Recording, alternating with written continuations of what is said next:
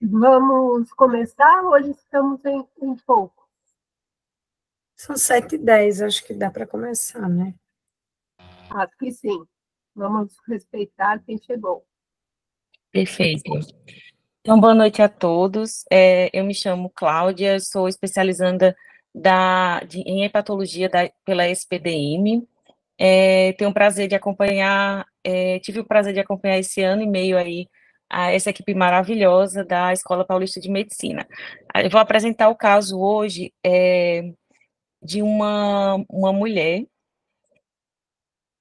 Ah, ainda não apareceu não, né? Aqui é uma mulher de 35 anos, é natural e procedente de São Paulo, ela é parda, casada e do lar. Pode passar o próximo. Já pode passar. Isso.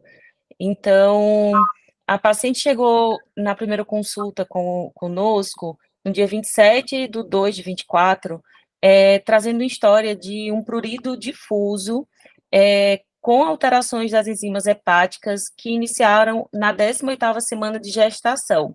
Isso, isso se deu é, em julho de 2023. É, nesse momento, foi iniciado 15 miligramas por quilo dia, prescrito pela obstetra mesmo, e foi suspenso após o parto dela. Ela teve um parto normal, de, é, na, que, que, aconteceu na 36ª semana da gestação, em dezembro de 2023. Então, ela chegou dois meses, é, do, é, dois meses no pós-parto dela. Ela relatou que durante o uso do sacol não teve melhor importante do prurido e negou colúria, colia fecal, outras alterações. Após o parto, ela manteve a alteração das enzimas hepáticas e do prurido, um prurido discreto, sendo encaminhada ao especialista. No caso, foi encaminhada à casinha. Tá? Pode passar, Eunice. É, sobre a anamnese dela, ela é uma paciente sem comorbidades prévias, é, tem uma história de ser uma gesta 3 para 3 a 0. É, na primeira e segunda gestação dela, a primeira foi um parto prematuro, de 26 semanas, o parto. O segundo nasceu com 37 semanas, durante essas duas primeiras gestações, ela não teve prurido, e aí de cirurgia prévia, ela teve cerclagem em 2010 e 2016, que foram nesses dois primeiros partos, né? Ela negou etilismo, aliás, é, ela, ela falou que bebia esporadicamente, muito pouco, então não, não tinha história de uma carga, de uma ingesta alcoólica importante. É, negou tabagismo, uso de drogas, uso de medicamentos, chás, negou transfusão sanguínea prévia, é, tinha tem histórico de tatuagem, tinha piercing também. História familiar. Na história familiar dela, ela negou história de hepatopatias, é, e o que ela tinha, a única coisa que ela relatava era que o irmão dela está em tratamento de um, um tumor cerebral. Pode passar, Eunice. É, no exame físico da, da primeira consulta, era uma paciente que estava com bom estado geral, estava o, o exame neurológico normal, eupineica, todo o exame físico dela é normal, ela não tinha estigmas de hepatopatia crônica, uma pressão de 11 por 8, frequência, frequência cardíaca de 71, saturação de 99 e um IMC de 21,4. É, o abdômen dela também não tinha nada positivo, nada de achado, tá? E ela estava anictérica, que é importante. Pode passar, Eunice. E aí a gente vai abrir um pouquinho para as hipóteses diagnósticas. Então, recapitulando, uma paciente de 35 anos que iniciou um quadro de prurido na, na 18ª gest, é, semana de gestação, é, e aí ela chegou a usar o sacol até o pós-parto dela, e aí a gente, é, no exame físico de, da, é, da primeira consulta, não tinha alterações, e aí está aberto para as hipóteses. Quem quer opinar? Doutora Maria?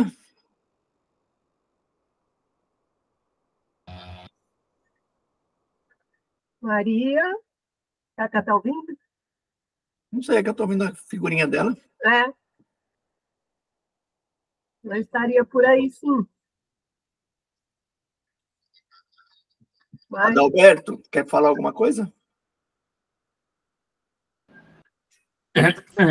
É, não, acho que não, dona Edu. Você não tem nenhuma hipótese para esse quadro? Então, tenho. É, eu acho que, assim, uma, uma, é uma paciente que apresentou né, um quadro de, de prurido durante a gestação, é, onde se entrou com o sarcol. Eu não lembro agora a idade dela exato, qual é, Claudinha? Dela? 35 anos. 35 anos, né? Uhum. Então, dá para se pensar é, na, numa manifestação de uma, de uma CBP e como hipótese diagnóstica, né? E, e também pensar numa nas icterias, evidentemente nas icterícias relacionadas à gestação, né, mais específicas da, da gestação.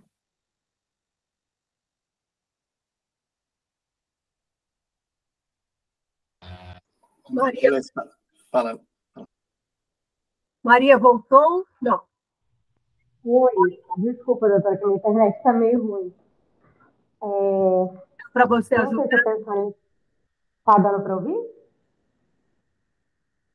Tá dando para ouvir? Tá, tá abafado o seu som, mas dá para ouvir. Tá. É, eu não sei se eu pensaria na coletagem entre a gestação, porque teoricamente teria que melhorar, né, o prurido depois. Eu- quando ela foi na primeira consulta, ela ainda estava gestante?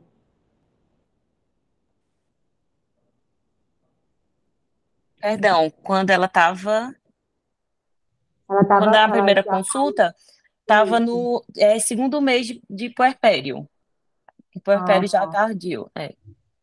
Tá. Ah, eu acho que eu também excluiria ao, ao, algum exame tal, se tivesse algum cálculo na vesícula, é, pensaria em algum outro componente é, que estaria gerando essa coletagem, além da, basicamente da gestação. Tá, Além da. Oi. Além da coletagem gestacional, que eu que teria que melhorar, né, no puerpério, teoricamente, eu descartaria que tinha alguma causa obstrutiva que estivesse gerando essa, essa coletagem. E estranho, né, para para colesterol gestacional, ela não ter tido prurido nas duas gravidezes anteriores, né? Sim. E teria melhorado, né, no puerpério, teoricamente. E ela persistiu com, com o prurido após o É, e CBT, eu acho que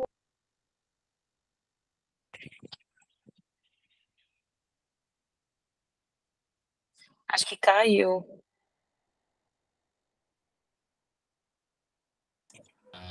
É, tá ruim a. Voltou. Caiu aqui minha chamada. Mas CBP eu acho que Uhum. ela é muito jovem, né? 35 anos. é, o seu Eu acho que também- bastante. Teria que fa- fa- fazer o rastreio todo, né?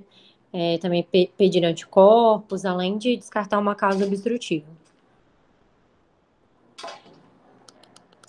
Então, Você tirar da sua fila de hipóteses diagnóstica a colesterol gestacional por ter se mantido após a gravidez. Ah, eu não tiraria, né? Porque eu acho que nem sempre, nem nunca, mas eu acho que não seria a minha primeira hipótese. Por ela não ter tido nas outras e por, e por ter continuado no puerpério. O fato de não responder ao sacol muda alguma coisa? Ou poderia responder ou não responder?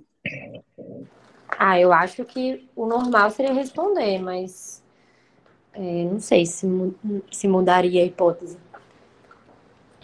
Melhorou o sacol, Cláudia?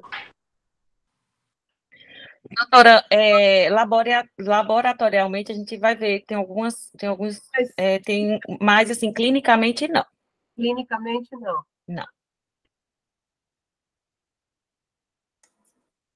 Sibeli? Tá difícil, né? Eu acho que é bem isso, né? A colestase da gravidez a gente sempre teria que pensar, né? Gestante e tudo mais, mas é estranho que não teve nas outras duas, não teve alteração nenhuma, não melhorou depois. eu acho que tem que pensar em outras doenças colestáticas mesmo, né? Então, autoimune, pelo fato até de ter prurido, a gente sempre, colestase com prurido, sempre tem que pensar em CBP, né? A gente tem que investigar. Eu não sei se teve alguma coisa, não teve relato nenhum de medicamento, droga, nem nada disso, né? Para a gente pensar em alguma outra razão para ter essa colestase e o prurido. É, o prurido até podia não melhorar com o sacol, mas era esperado que melhorasse um pouco, né? Uhum. Então, acho que é só fazer mais exame para ver o que a gente acha, né?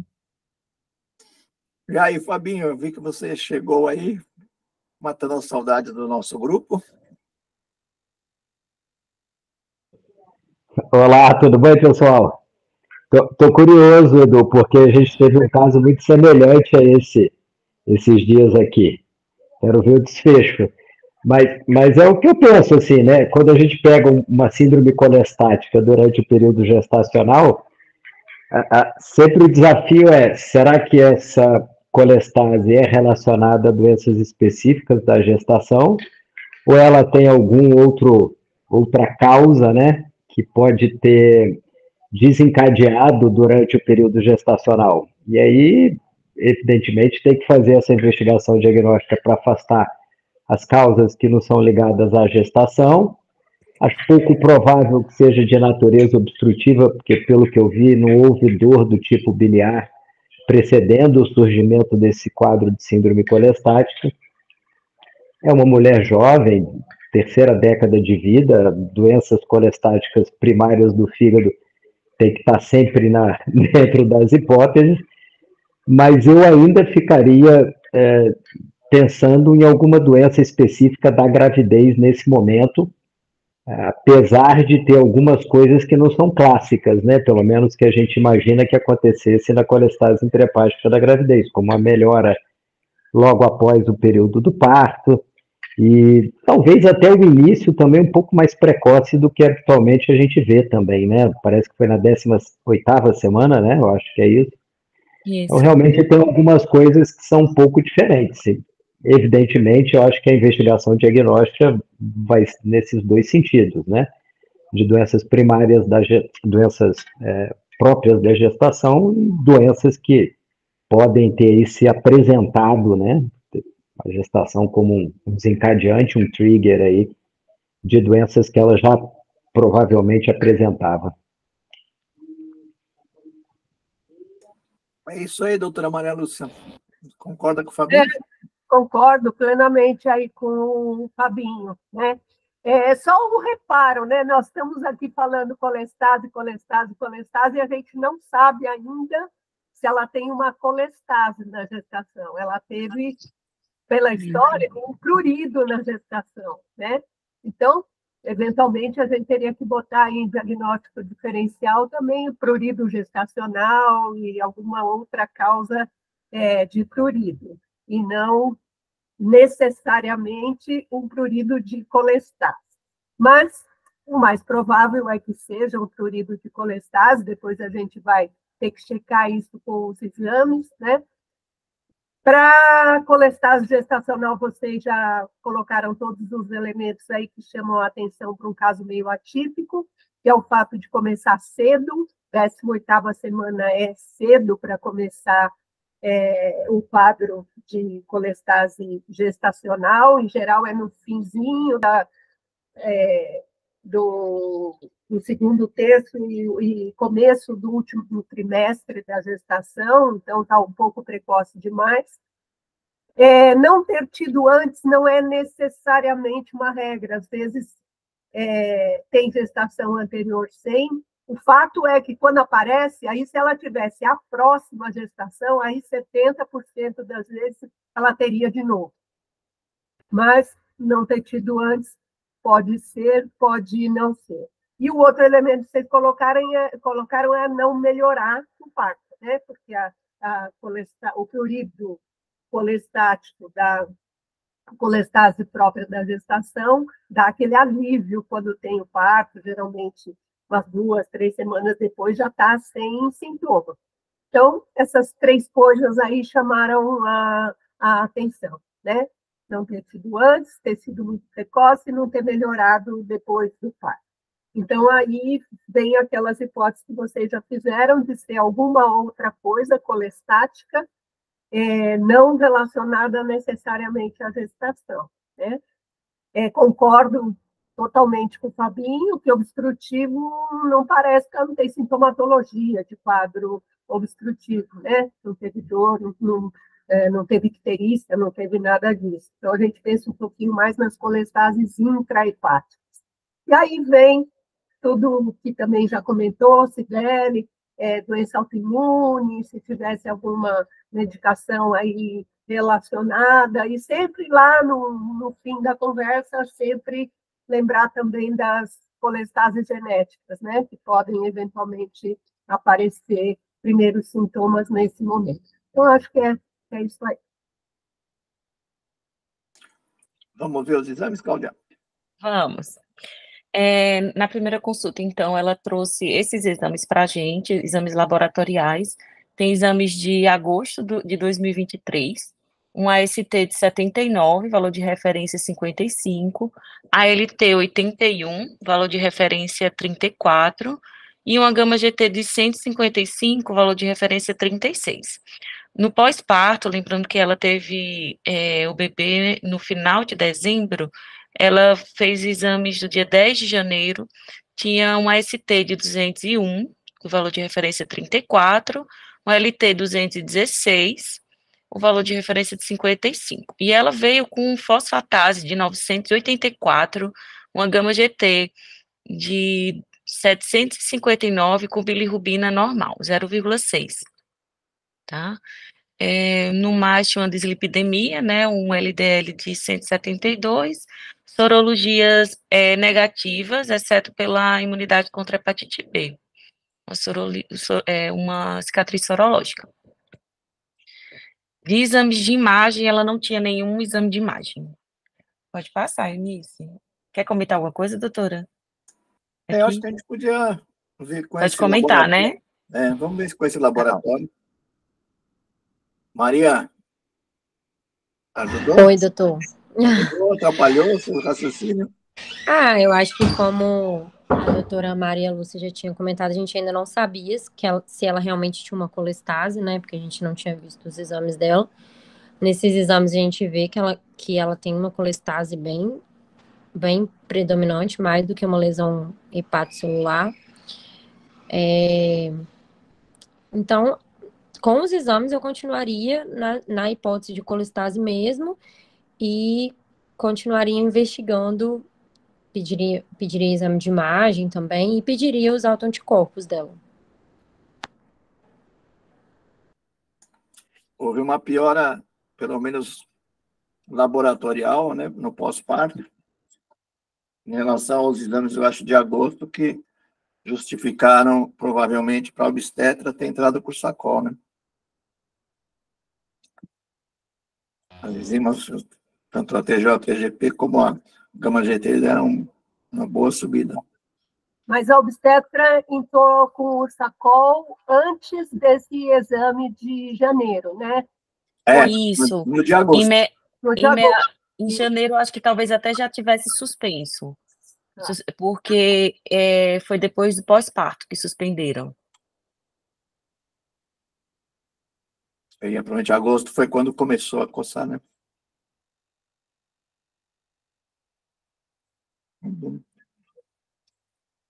Vamos em frente?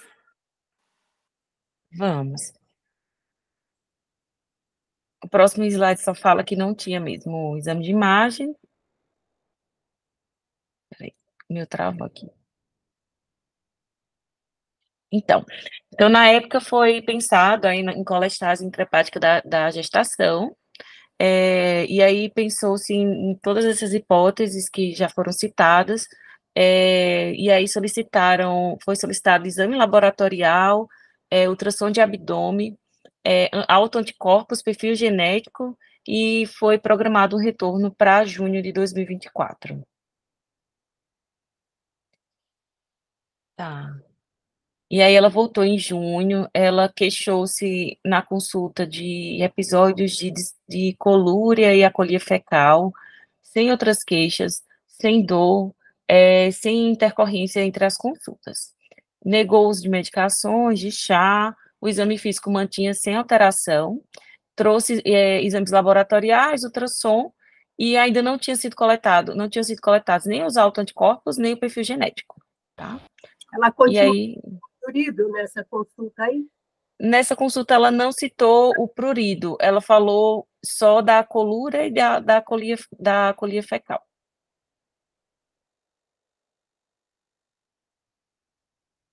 E aí, na. Você passa para mim, fazendo favor. E aí, nos exames laboratoriais. Então, tem os dois que já tinham sido mostrados, já tinham sido mostrados.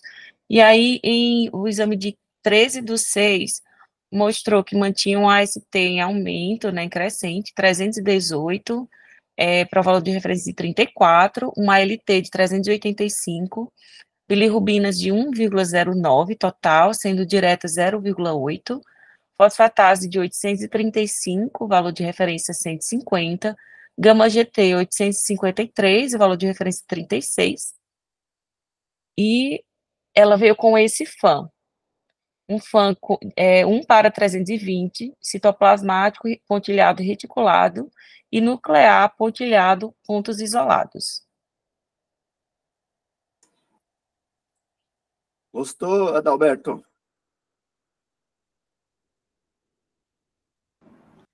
É, eu mantenho... esse, fã, esse fã faz diagnóstico do quê? Eu estou tentando lembrar do, do, do...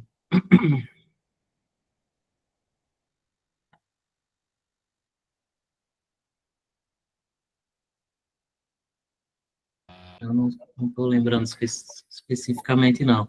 O que a gente vê que mantém uma colestase muito importante, né? Inclusive aí uma repercussão de novos sintomas, né? De acolia, de colúria, e o padrão das aminotransferases também tem um, aumentaram aí também significativamente.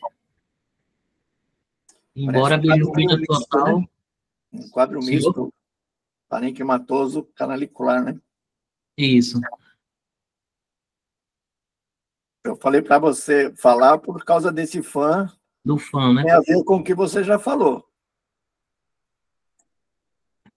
É, eu... É característico de CBP esse fã. É de CBP? Foi o seu diagnóstico confirmou aqui com, com esse perfil, né? Eu não lembrava desse, desse São tantos padrões que a gente às vezes. Quer falar dos padrões, Maria?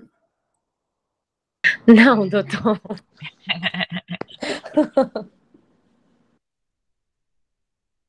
Vamos pedir para a chefa?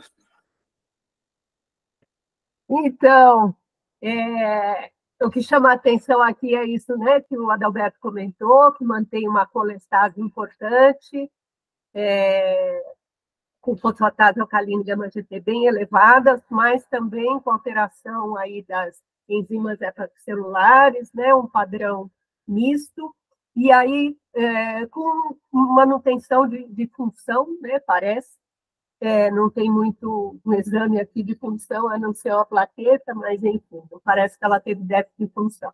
Mas aí a gente vai para o FAN, e o fã já nos ajuda, né? mesmo sem ter os outros autoanticorpos, ela já tem um fã bastante sugestivo de CBT. Sugestivo não, um fã diagnóstico de CBT. Né? É, o fã sugestivo de CBT seria o citoplasmático pontilhado reticulado, nesse título alto Ultra 320, ele sugere a presença do antimitocôndria. Né? Esse pontilhado que aparece no citoplasma é justamente a reação é, contra as mitocôndrias. Mas o nuclear pontilhado de pontos isolados, esse sim é bastante específico de CBP, inclusive ele conta como diagnóstico, né?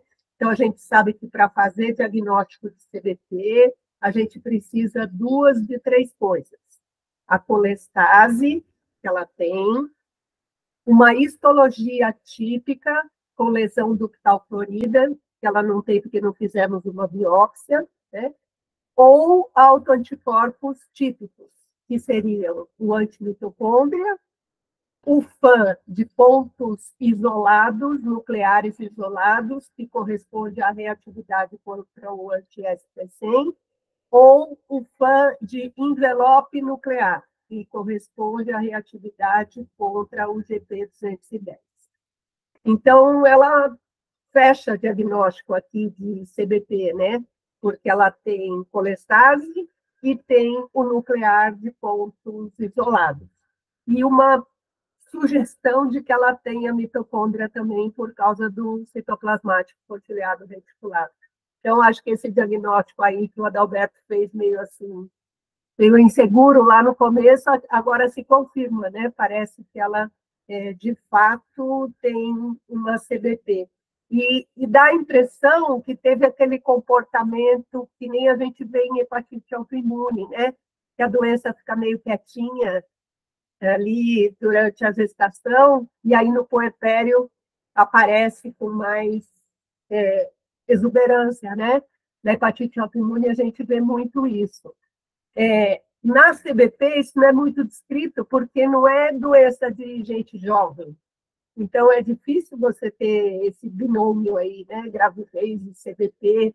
Geralmente os pacientes que têm CBP são pacientes mais idosa ou pós-menopausa, enfim.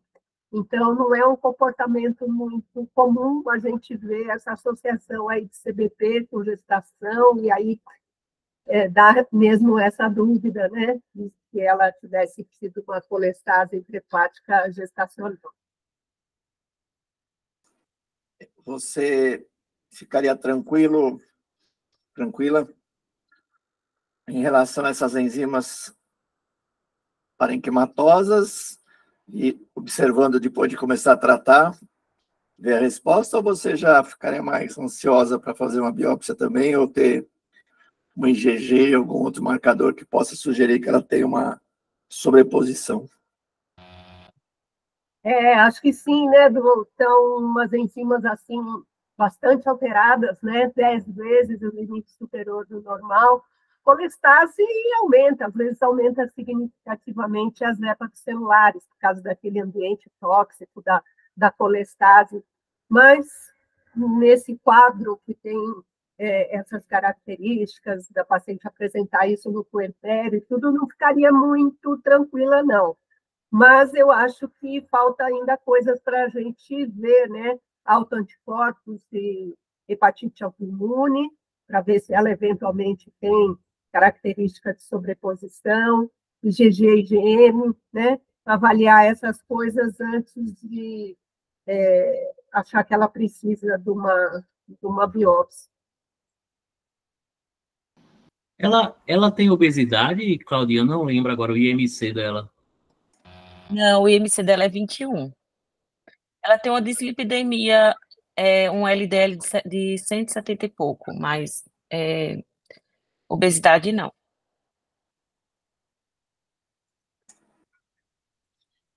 É isso aí, Fabinho? Sim. É, é, quando é que foi o parto dela? O parto foi? Em dezembro. Então ela estava completando aí já seis meses, né, de elevação dessas enzimas predominantemente canaliculares, né? Isso. É. E aí, do ponto de vista, né, Lúcia, que, que a Lúcia chamou a atenção, assim, pelo menos dois dos três critérios ela já preenche, né? Mas você ficaria com algum grau de dúvida, Lúcia, pelo fato dela estar tá saindo da gestação?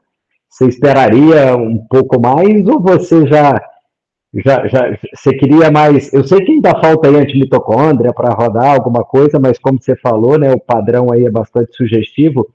Mas pelo fato dela estar tá saindo desse período gestacional com seis meses, é, é, eu acho que não é uma doença específica da gravidez, evidentemente, né? Já é muito tempo para ela persistir com as alterações, mas você ficaria em, em dúvida ainda pelo fato dela estar tá saindo da gestação?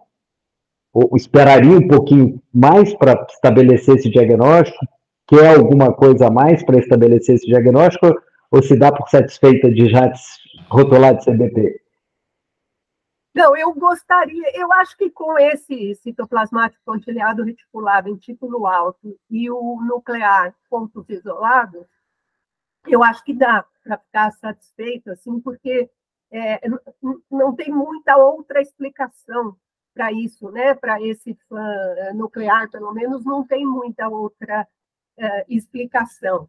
O anti-SP100 ele é muito específico, né? O, o GP210 até nem tanto, ele é mais prognóstico e tal, mas o SP100, que é o que a gente está vendo aí com esse padrão, ele é bem específico de CBP. Então, eu acho que eu ficaria, assim, em relação ao diagnóstico da CBP, eu ficaria é, tranquila de fazer esse diagnóstico e acho que ela é, exacerbou no puerpério, o, o, a única preocupação assim, em relação a ela ter tido uma gestação é que ela fez florescer provavelmente uma doença autoimune depois.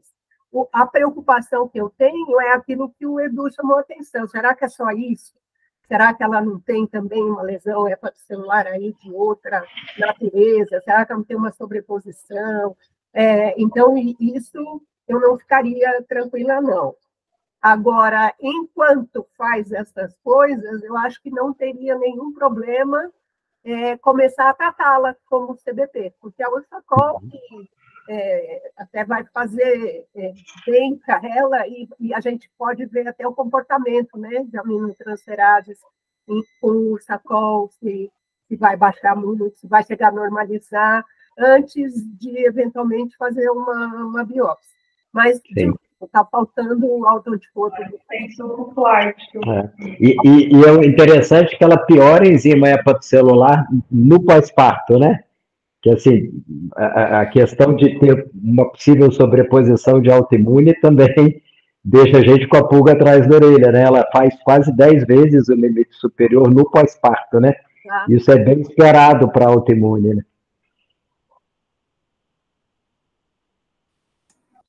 Ah, legal.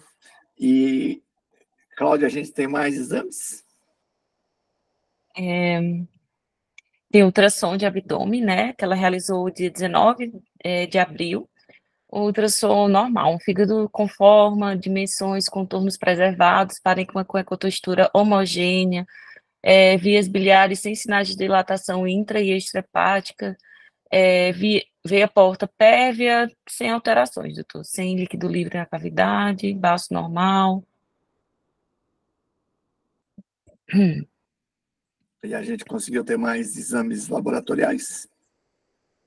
Sim, então assim, é, devido a, a, tudo isso é, que foi conversado, né, pensou-se em CBP, foi iniciado o SACOL na dose de 15 miligramas por quilo dia, e ficamos aguardando os, os autoanticorpos e o perfil genético.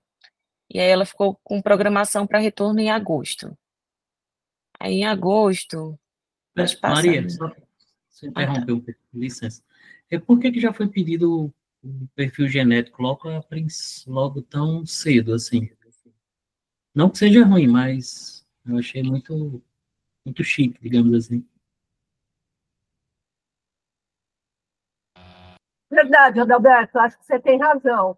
Ela não precisava, nessa altura, de já ter feito um perfil genético. É que eu acho que lá atrás se pensou em colestase intrahepática da gestação, apesar daquelas características, né? Então, é, como a gente estava nesse movimento aí de fazer é, os perfis genéticos nas doenças colestáticas, até mais por conta da, da tese da Lívia do que de indicação clínica precisa, é, foi pedido. Mas uhum. tem razão, não era necessário e nem o momento de se fazer. Né? Fazer perfil genético na colestase intrahepática da gestação, se fosse, é, tem sido indicado assim para é, embora ele vá ser positivo para aquele perfil de colestase que a gente faz, um percentual pequeno, literatura fala que esse perfil genético de colestase é positivo só em 20% das colestases intrahepáticas da gestação. Os outros 80% não têm é, ABCB4, ATP8B1, ABCB11, aquele painel que a gente faz de colestase. Agora, quando tem e é positivo para algum desses genes relacionados à doença colestática crônica, é, levanta a possibilidade de você poder ter depois, no futuro, outras doenças relacionadas a esse perfil né, genético. Então, quando você lê assim, é, colestase intrahepática da gestação, eles recomendam que faça para você ficar sabendo se tinha um perfil é, típico, né? Mas, como a gente logo no começo já achou que não era, e é, acho que não precisava realmente ter pedido uh, esse perfil. Acho que você tem razão. Foi chique demais.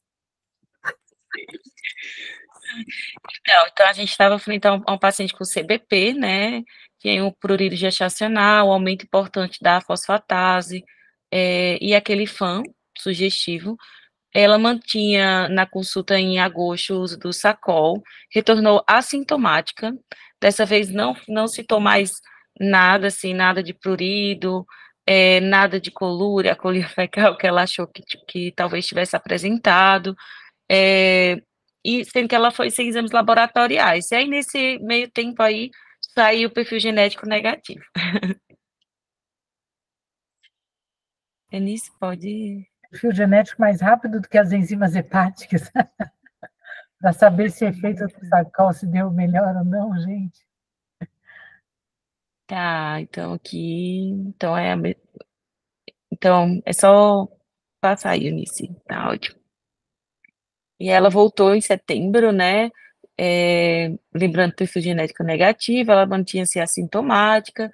É, nesse momento, ela passou a usar 600 miligramas de sacol dia, porque ela estava comprando a medicação, não tinha sido liberada ainda, então ela é, reduziu por questões financeiras mesmo.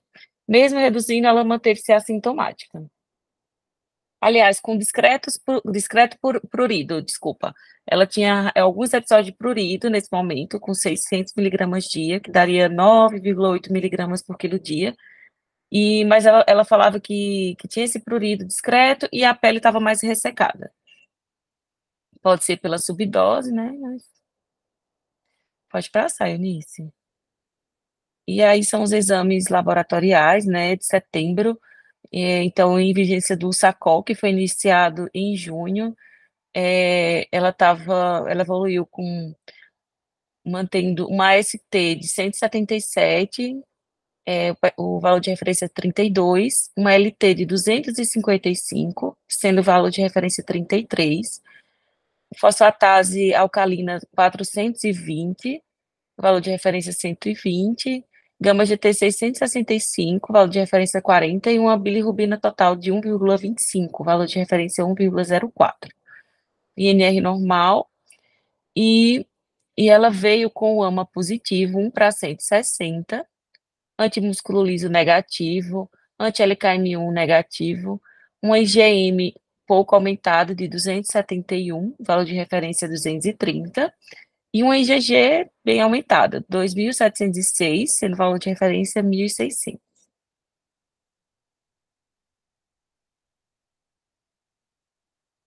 E aí? E aí? E aí que a IgG está muito alta, né?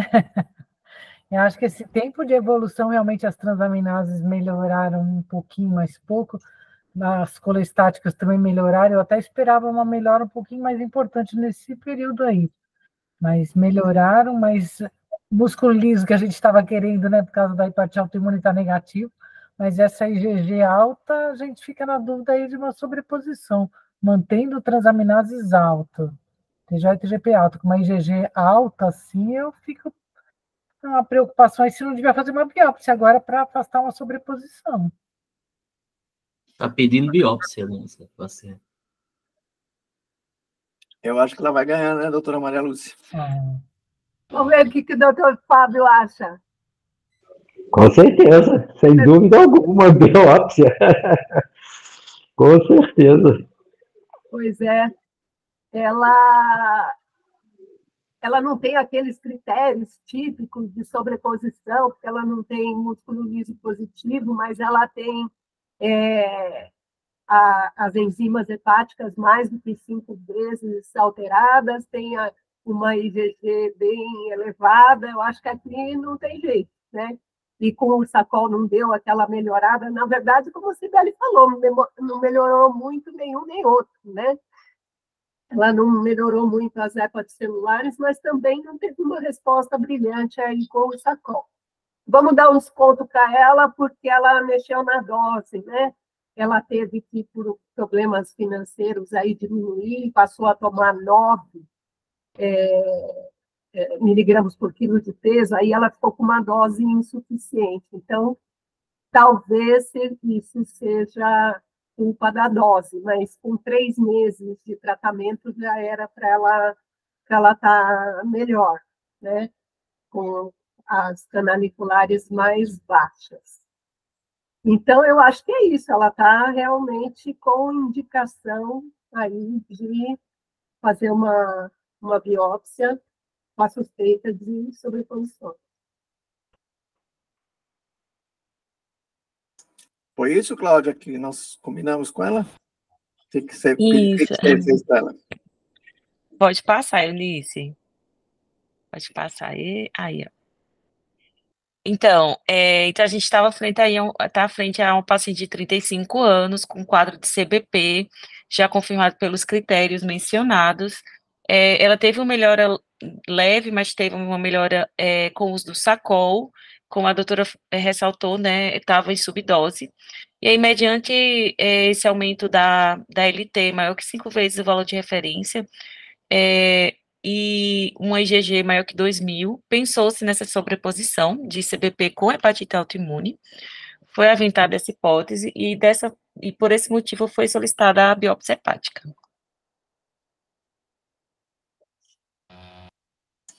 Legal. E nós então, nos próximos capítulos.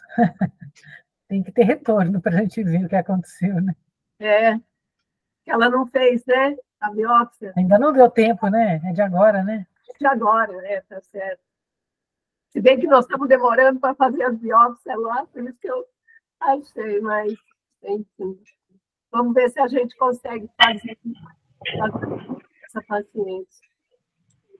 Lúcia, só, só Edu, só para colocar em discussão, vocês quando é, estabelecem o diagnóstico de CBP e a paciente é, tem como queixa, né, uma das queixas principais dessa paciente era prurido, vocês já comumente entram com a dose cheia do ursacol ou vocês fazem o escalonamento, uma vez que a gente sabe que o, o ursacol, né, nessa fase inicial, ele pode até agravar o prurido aí, como é que vocês normalmente fazem? a gente normalmente dá dose cheia. Assim, é, é prurido relaciona, pode realmente piorar prurido, né?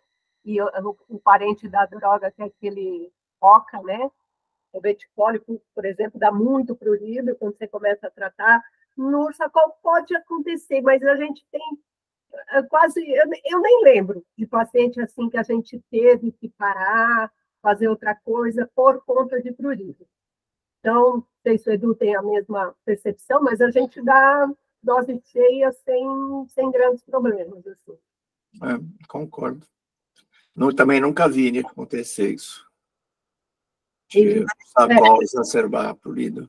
É. é eu, já, eu, já, tive, viu? Eu já tive paciente com piora, que você tem que voltar para a dose, reduzir pelo menos metade da dose e ir subindo gradativamente depois. Né? É, é relatado. É né? mas a gente uhum. não teve, não. O que a gente agora precisa é, também ficar atento com o CBP, está mudando muito assim a, a abordagem do acompanhamento, né? Porque antes a gente fazia esse, essa programação de você manter o Ursacol e avaliar a paciente depois de um ano, e se depois de um ano o paciente não tivesse com fosfatase alcalina inferior a 1,6, a ST normal, bilirrubina normal, aí você chamava de uma, uma mal respondedora e passava a fazer associar um tratamento de segunda linha, que no nosso caso aqui é o fibrato. Né? Então, o que está mudando? É, primeiro, tem uma tendência na literatura de você avaliar a resposta mais precocemente, provavelmente no sexto mês. E no, se no sexto mês você ainda não tiver a resposta, você já poderia associar a segunda linha. Isso é uma conduta. A outra conduta é assim, não buscar e ficar satisfeito com essa redução de fosfatase alcalina de inferior a 1,6. O que está se buscando agora é normalização de enzimas, porque isso é que tem é, associação com desfecho, né, com prognóstico. Então, você tem que buscar realmente a normalização. Então, se chegar... E a bilirrubina também, né, Lúcia? Inclusive com a bilirrubina, né? Inclusive com a bilirrubina. É. Então, se chegar em seis meses, ou se você ainda estiver trabalhando com um ano e você alcançou abaixo de 1,6, uma bilirrubina só tocada, não ficar satisfeito e associar a segunda linha, né? Uhum. Então, e outra coisa que está se preconizando é talvez você avaliar quem já vai precisar de segunda linha antes de começar. Então, tem uns, uns critérios, né, que são critérios que avaliam o prognóstico de resposta. E, e aí você avalia isso, se você tiver a previsão né, de que não vai responder, já começa a combinar o tratamento desde o começo. E, e a gente até fez um trabalho, a Natália, junto com, com o Betinho, e, e a, a Natália era uma orientanda minha de mestrado, e a gente fez também um critério assim de avaliar se o paciente ia precisar é, de tratamento combinado desde o começo, né, avaliação de resposta, que ficou sendo chamado de IFA, porque ele relacionava idade com fosfatase alcalina. Então, quanto mais jovem a paciente, e essa aqui é super jovem, 35, e quanto mais alta a fosfatase alcalina na hora de começar, e essa aqui tinha, quanto, Cláudia? 800, sei lá, uma baita fosfatase alcalina, né? Chegou a 900, né? É. Então, é, quando essa relação dava 9,30, alta chance de paciente não responder. Então, é, essa paciente aqui, essa pouca diminuição com três meses, provavelmente já está dando uma ideia que ela não vai ser uma boa respondedora, porque ela tem critérios ruins no, no início. Né? Sim. E aí vocês associam o fibrato ao BESA mesmo, né? O fibrato é o BESA mesmo. É, parece que ele ah, é o melhor para isso, né? Ele é aquele negócio que a gente chama um pampipar, né? É o piparal uhum. beta, delta, então tem uma ação melhor do que o fenofibrato. O pessoal lá do HC usa ciprofibrato, porque eles fazem lá na farmácia deles e, e falam que é bom também, mas tem pouca, pouco trabalho né, sobre isso. Mas a gente usa mesmo. Pode ser. É o mesmo que a gente usa aqui também, como segunda linha. Existe alguma possibilidade desses pacientes respondedores rápidos? Então, seis meses já normalizou todos os exames e tudo mais, de você reduzir a dose do sacol? Tem que manter eternamente, porque assim, até durante meu acompanhamento aí, porque é alto custo, né? Então, eu tive aí durante alguns anos e tudo mais esse medicamento de alto custo, volta e meia falhava, falava, não tinha no alto custo tudo mais, o paciente abaixava a dose de ursacol, porque não tinha, não tinha como comprar e tudo mais. E os pacientes mantinham super estáveis com uma dose mais baixa. Então, às vezes, vejo manter 900, manter 600, que é uma dose lá de 9 miligramas por quilo, e continuava numa boa, super normal mas eu não tenho, não vi nada disso de ter alguma possibilidade nesses respondedores rápidos de de repente você poder abaixar a dose do sacol e seguir. Não tem mesmo, Sibeli. Nada que eu tenha lido sobre redução de dose ou parar de, de tratar porque está bem. Então, eles sempre colocam, começou a vida inteira. Não sei se vocês aí, Edu, Fabinho...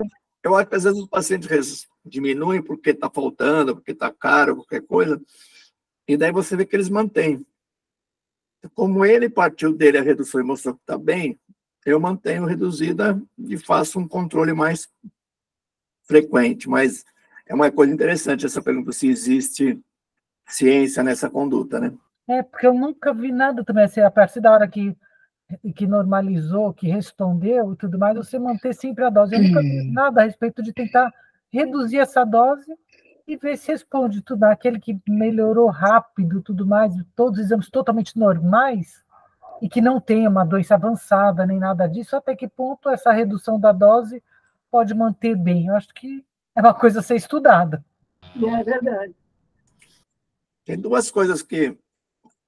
Uma delas é a frequência de cirrose biliar primária, quando a gente biliar primária que a gente está vendo. A impressão que eu tenho que estar tá aumentando.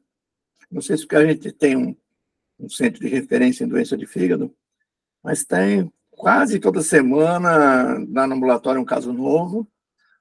E no dia a dia, no consultório, também vira e mexe aparece. Eu não sei se. Não sei se é a impressão que você também tem aí em Juiz de Fora, assim, eu acho que a Lúcia concorda comigo. E a outra é se vocês perceberam alguma diferença na eficácia dos pacientes que talvez estivessem respondendo e trocaram para o ácido desoxicocólico indiano. Os pacientes toda hora ficam ligando para saber se. Eu não tive mudança nenhuma. Eu tive um paciente que mudou. Para isso, eu tenho bastante paciente com CBP, bastante. E é, mesmo essa mudança para o outro genérico, indiano e tudo mais, ninguém teve alteração dos exames, nada disso. Nada. Permaneceram iguais, normais, não pioraram o exame, nada. Fabinho, tem muita CBP aí? Temos. Temos bastante também, Lúcia. Está é, tá aumentando, né? Está é. aumentando significativamente. O Edu vai lembrar do, do Moisés Minces, quando chegou na reunião da Gastro, quando a gente era residente com o caso do CBP. Ah, ele tem um caso. ah, incrível, no consultório AAA dele. Hoje, pois é. Será que a gente faz mais diagnóstico também porque está mais atento, tem mais condição de fazer os autoanticorpos mais específicos também? Acho que melhorou o diagnóstico também, né? Acho que sim, mas é, quando você vê na literatura, eles falam que está que tá aumentando em todos os países. Tanto é. hepatite imune quanto o CBP. É sempre a pergunta que a gente se faz, né? Se é uma incidência realmente crescente, verdadeira, ou se a gente está mais atento e o diagnóstico está mais fácil de estabelecer, né? Mas parece que é aumento da incidência mesmo, né? É que nem doença inflamatória intestinal. Inflamatória, exato, exato. Absurdo. Exato. Absurdo, exatamente. Lúcia, tendo, Lúcia Edu, a gente ainda não tem acesso a ele, né? Mas só para discussão aí, é, tendo as drogas hoje que já estão aprovadas para uso nesses pacientes que não responderam à primeira linha Cursacol, é, qual dessas drogas você utilizaria?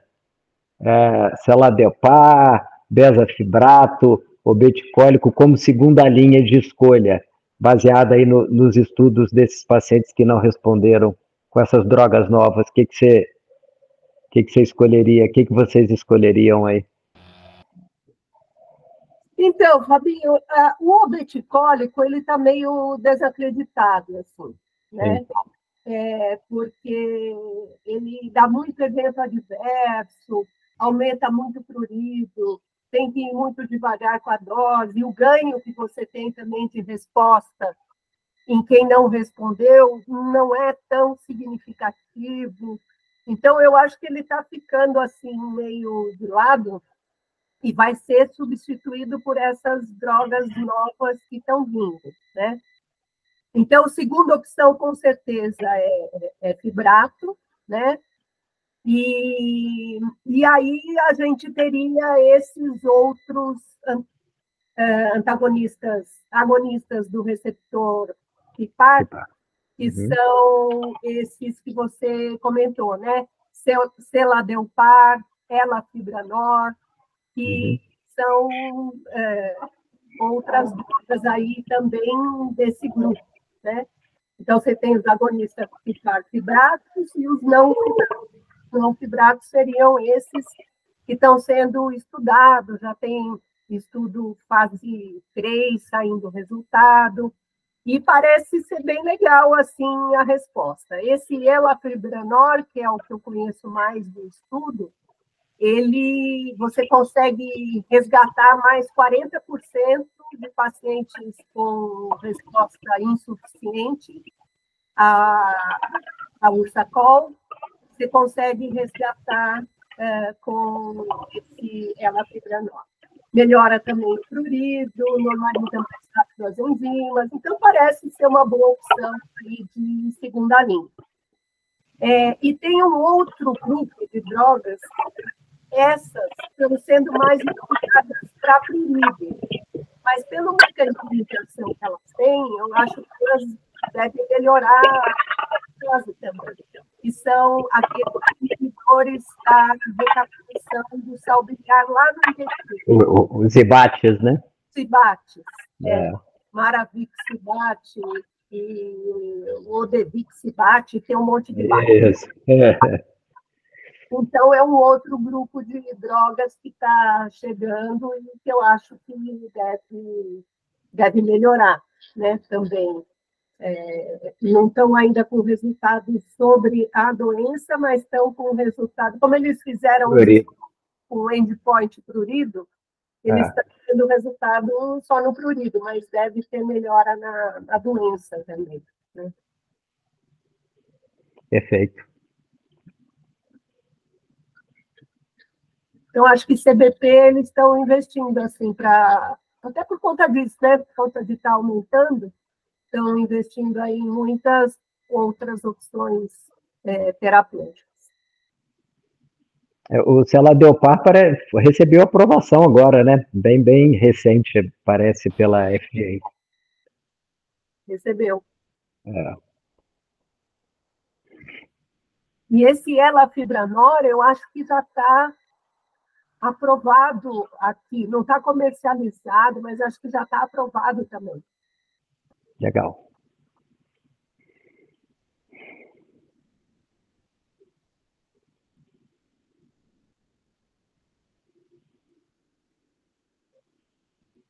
Ô, Fabinho, só para fechar a nossa conversa de hoje, o caso que você teve, o que, que é? Parecido com. É, é a gente, assim, parecido porque. Só que ela teve o início do prurido, primeira gestação, início do prurido na 29, parto com 34 semanas e com piora do prurido e surgimento de icterícia no pós-parto. Os autoanticorpos todos negativos, uma exposição à droga uma cefalexina para um, uma infecção secundária do prurido, que ela já tinha apresentado durante esse último trimestre da gestação, e autoanticorpos negativos, é, sem, sem nada, sem nenhuma pista diagnóstica do ponto de vista de perfil de autoanticorpos. E aí a gente acabou biopsiando ela. Biopsiamos, e por surpresa, assim, uma baita de uma colestase, ah, inclusive a biópsia saiu hoje. A patologista nossa aqui tinha 19 espaços porta, só um deles com ducto biliar. Nossa! E, pois é, ela, ela caracterizou até como uma vanishing, né? É. Como aquela, aquela síndrome, a gente pensou muito em droga, revimos a história, mas, mas não tem, só tem uma cefalexina na história. E muita, muita enzima hepatocelular, mais do que de vocês. Chegou a fazer 600 de ALT. Com uma bilirrubina que, assim, 16 de bilirrubina, um prurido que a gente usou todas as drogas que a gente tinha disponível para tratamento do prurido. Todas que você pensar, a gente utilizou, menos os ibates, que não temos ainda. Caramba! Pois é, e aí a gente está assim, não sabemos o que, que aconteceu ainda, né? E nem sabemos como que essa doente vai evoluir. Preocupou muito o resultado dessa biópsia pela, pela ductopenia, assim, absurda que ela tem, né? Absurda. E ela ainda não retornou depois da biópsia.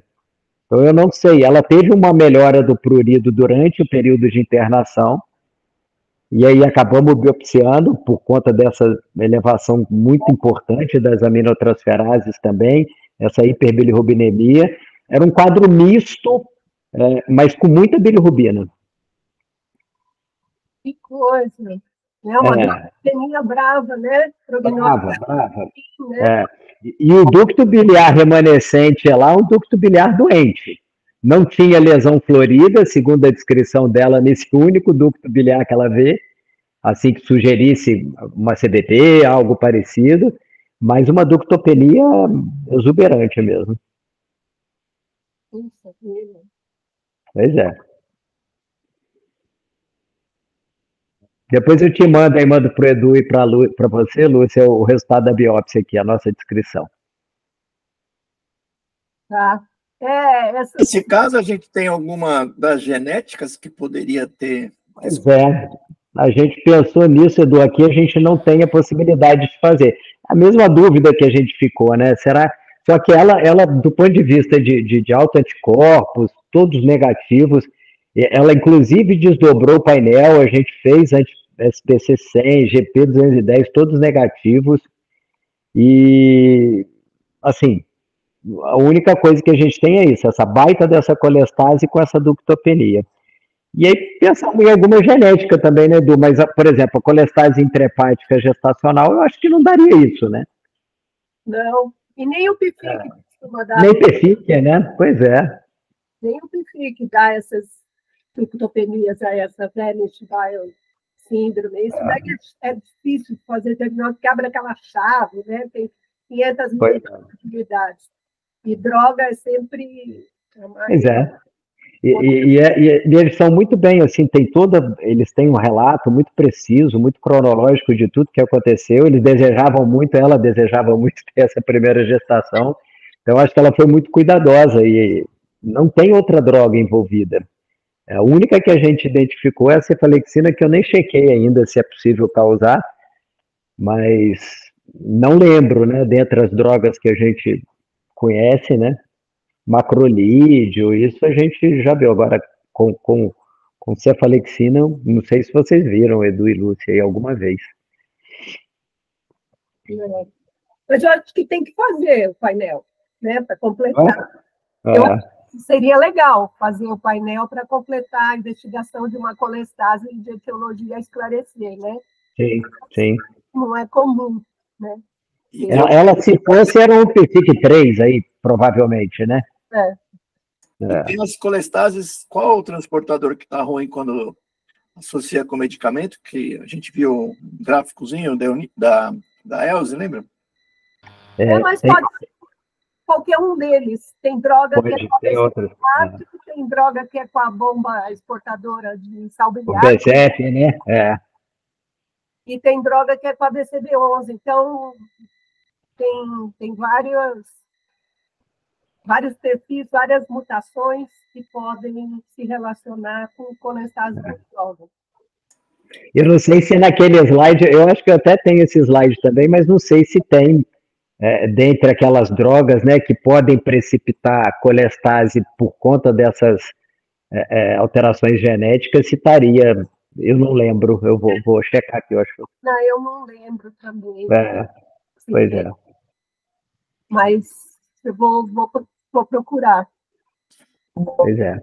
Eu vi com tiabendazol. Sim. O Mário viu com azitromicina. A, azitromicina, a gente tem um com azitro, exatamente. Naquela época aí do Covid, muita azitro, a gente tem um doente, exatamente.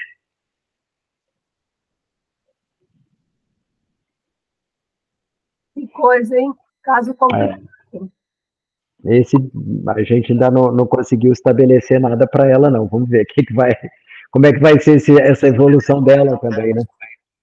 Fabinho, nessa situação, Oi, oi Cláudia, desculpa. Desculpa, é, no caso da, o senhor viu com azitromicina, foi uma hepatite colestática ou foi uma evolução, assim, tipo essa de ductopenia importante? Porque eu peguei um caso recente de, com levofloxacino, mas era uma hepatite colestática, bem importante. É, era uma hepatite colestática bem importante. Parou, não melhorou, biopsiaram, não tinha ducto.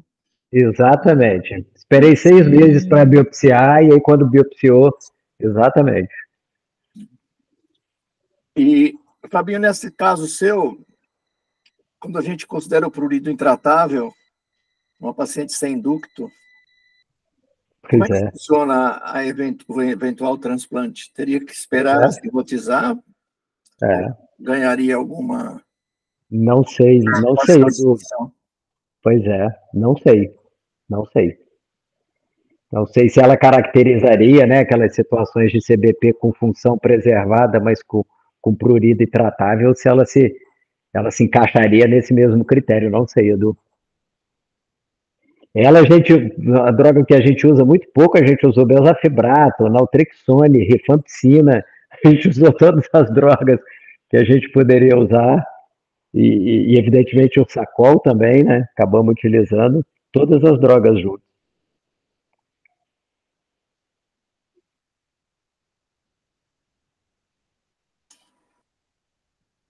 Bom, pessoal, acho que a gente está Eu estava olhando